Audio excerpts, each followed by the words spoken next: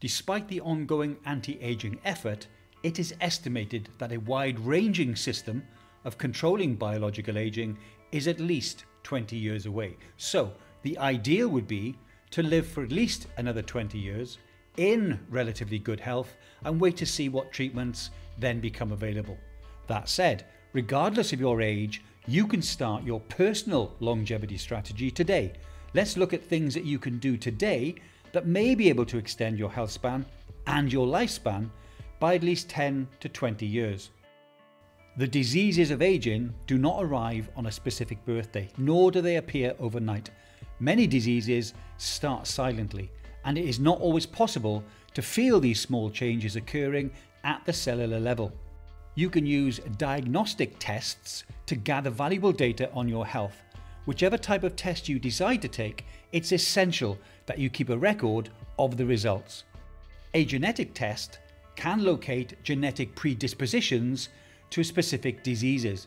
Many companies now offer all sorts of genetic testing, from individual diseases to a full DNA investigation. In most cases, you will only need to take this kind of test once. You can then use the information to improve your longevity decision making process and to assist your medical advisors in the future. Detailed checkups test many biomarkers, such as your lipid profile, thyroid hormones, glucose, and liver and kidney function. They can also check inflammation biomarkers such as C reactive protein, as well as levels of certain vitamins and minerals that are vital for our health and well being, such as vitamin D, vitamin B12, potassium, sodium, magnesium, iron, and zinc, just to name a few. Biomarker composition normally changes with age, so older people may benefit from checking more markers more often than younger people. Regular checkups specific to any disease or condition you may have will show how well your interventions are working. If you are taking drugs or supplements for age related diseases, it's good to regularly check to see if they are working or if there is a need for replacement or for dose adjustment. A visit to a health practitioner remains one of the most reliable ways to get a proper assessment of your physical condition.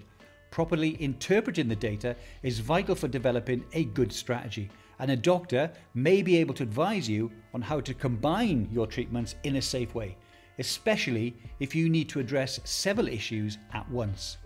Some drugs may be incompatible, or your genetic blueprint may predispose you to a weak response to certain treatments. A doctor can also prescribe additional tests or refer you to a specialist if the situation is unclear. Be sure to describe your issues and experiences in detail, and you can refer to your notes and records to make sure you don't miss anything. And try to remember what happened before, during, and after you felt that something wasn't quite right. And once you've done that, make sure that you record it be sure to list the medications and the supplements you are already taking and the reasons why. This will help exclude the influence of those medications on an accurate diagnosis. To work out your longevity strategy, you must be honest with yourself. Using the GROW model, you can tailor your strategy and plan your journey. You know what you like, you know what you don't like, and you know what you will do, and you know what you won't do. The G in GROW stands for goal. So having had at least a checkup, you will know what markers are either out of reference range or close to a limit. Decide which one you want to tackle first. It may, for example, be to reduce your body fat percentage. The R in GROW stands for reality. Where are you now? What is the reality of the current situation? i.e., what is your current body fat percentage? Let's say it's more than 40% and you want it to be less than 20%.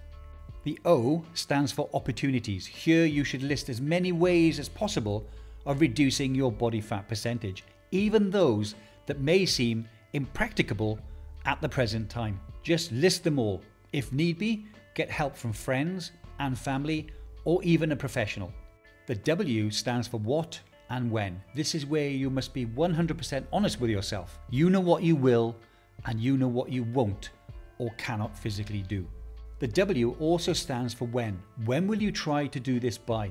Firstly, it must be realistic. For example, you're not going to lose 20% of your body fat in two weeks. It may be a distant goal, such as something in one year. But you can also insert sub milestone targets, for example, every three months to measure progress, and this can also help with your motivation. So, what can you do right now to help you start your longevity journey?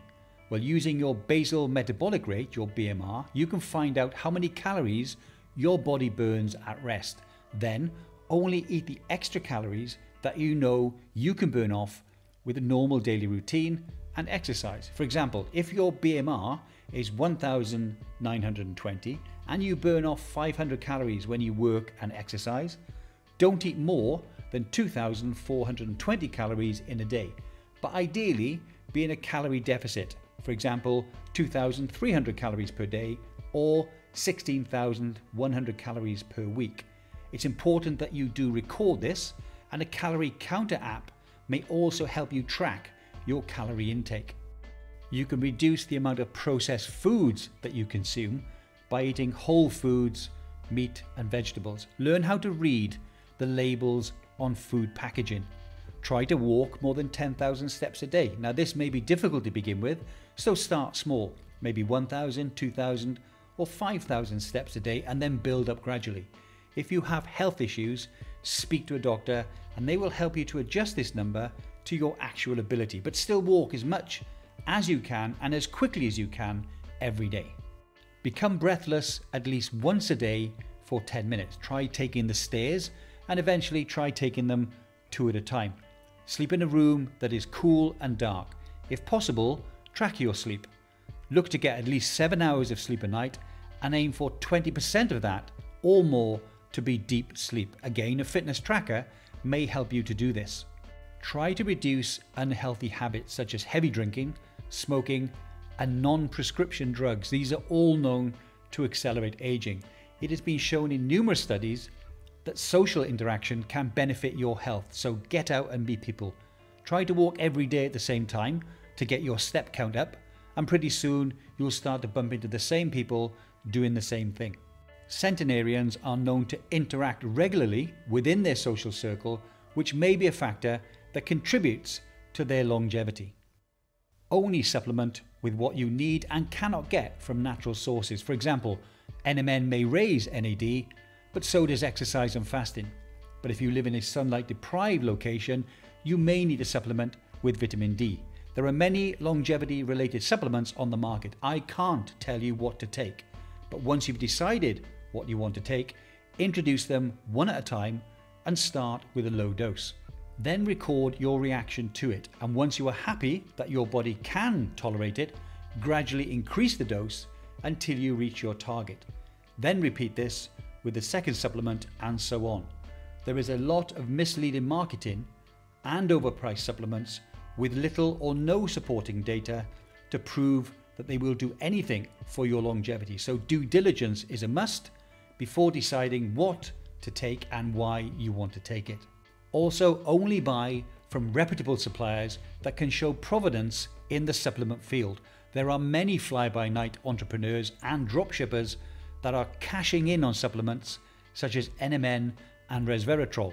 Avoid multivitamins, especially those targeted at specific sexes or age groups. Everyone is different. There is no such thing as a one size fits all anti aging supplement for the over 50s or for, say, ladies in middle age. Stay informed. Keep up to date by subscribing to medical websites and journals. Follow anti aging themed social media channels. But, like the 20 year old life coach, please look out for those who are only in it to make a quick buck. If you were to ask me how to start, and some people often do on the channel, I would say this. Firstly, Throw out all of your processed foods, tins and packets. Anything with a supplement facts label on it is really not food. Try to buy fresh, whole food. Organic may be better. Cook at home as often as possible and eat out less. Stay away from fast food outlets and try not to order food in. You don't know what they're doing to the food that you're going to eat. Gradually reduce the quantity and the frequency of intake for nicotine, alcohol, and non prescribed drugs. If you can, set aside 15 minutes a day to become breathless, even if it is only walking to begin with. Try taking the stairs as often as you can. Good quality sleep is vital. Try to improve your sleep. The environment that you sleep in should be cool and dark. Aim to sleep for at least seven hours a night and try to go to bed at a time that doesn't require the alarm to wake you up. If you can, take some tests, blood tests. Have as many markers checked as you can afford. Take an epigenetic age test, and there are free tests online. Change your lifestyle and your diet to move the biomarkers into the reference range. Supplement with separate vitamins and minerals if the lifestyle and diet changes cannot make the difference that you need. Then investigate what longevity supplements you may wish to take. For example, NMN to boost NAD, trans resveratrol to initiate hormesis, senolytics such as fisetin and quercetin to kill off senolytic zombie cells, or apigenin to inhibit high levels of CD38 and also boost your NAD. Our unchangeable genetics dictate only 20% of our longevity. The other 80% is epigenetics, and that's diet, exercise, environment, sleep, etc. This is down to you. As David Sinclair says, 80% of our longevity is in our hands. What will you do today? Well, so here's the most important take home message is that only 20% of your longevity and how you'll feel when you're 70 and 80 and 90 is genetic. Okay. The rest is in your hands. That's liberating. I mean, you can sit on the couch, you can eat potato chips, you can uh, not exercise, you can eat whatever you want. But you're minimizing your, your potential. Right. And what we all have in our bodies, what we co discovered in my lab, is that there are genes that control how long we live. We work on these pathways. And what we've discovered is they don't just exist, they respond to how we live. Hmm. And what we want to do is trick our bodies into thinking there's adversity. Hmm. Biological stress, not emotional stress, but biological stress. Okay. So now we understand why does exercise make us healthier and live longer? Why does being hungry make us live longer? Why do all these things, eating good foods, it's because they're turning on these body defenses, these longevity genes that we work on. And that's the revelation. They're in all of us, but we they become complacent unless we trick our bodies into getting this feeling of, of uh, adversity. Adversity. So it's, we call this hormesis. Okay. Hormesis is what doesn't kill you makes you live longer.